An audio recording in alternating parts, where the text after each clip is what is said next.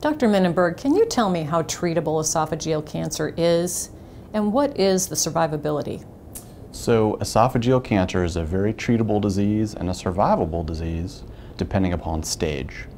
Uh, for early stage, which would be stage one and two cancers, the survival rate is about 40% at five years, meaning that if patients are treated appropriately, about 40% will still be alive five years after diagnosis.